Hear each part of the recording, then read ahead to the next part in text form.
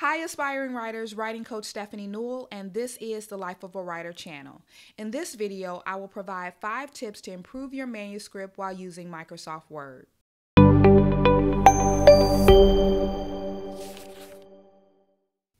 In previous videos, I've shared how to format your manuscript using Microsoft Word, and if you haven't seen those videos, I'll link to them in the description.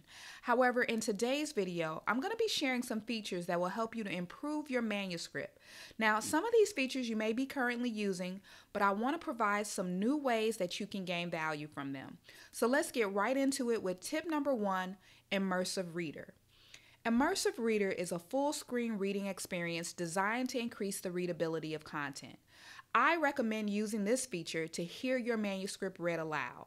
Not only can you increase or decrease the speed at which the computer reads your document, but you can also change the voice from male to female depending on your preference. The first step I recommend is finding the speed that works best for you. Personally, I found the default speed to be a little slow, so I increased the speed for it to be read a little faster. The immersive reader feature is helpful for writers because it can help you to discover several things about your writing. For example, with punctuation. If you've placed punctuation incorrectly throughout your manuscript, you'll be able to hear it based on the pauses and then you can correct it accordingly. It will also help you to hear your dialogue read aloud, to determine if a paragraph or sentence is too wordy, and just overall helps with hearing the flow and pacing of your manuscript. And for those of you who still need help with learning the parts of speech, you can turn on the parts of speech function, which will highlight, depending on what you select, the nouns, verbs, adjectives, and adverbs within your manuscript.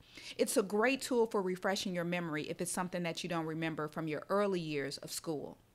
And lastly, another cool feature of Immersive Reader is that you can translate your document to any language you choose and it will read it aloud. Tip number two is spell and grammar check. Now, I know everyone is familiar with spell and grammar check, but as someone who does manuscript critiques, I've noticed how very few people actually use this feature. Here's why it's important to use this feature.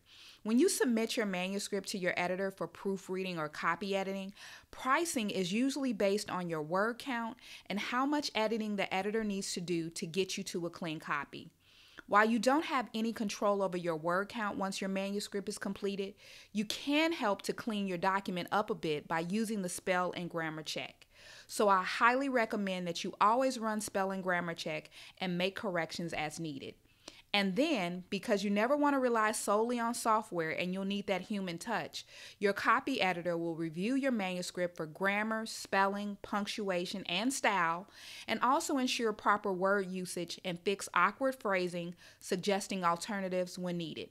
Tip number three is to use the reviewing or comment feature. So, in most cases, when you hear someone discussing the reviewing or comment feature, it's concerning an editor who's making changes or corrections to your document.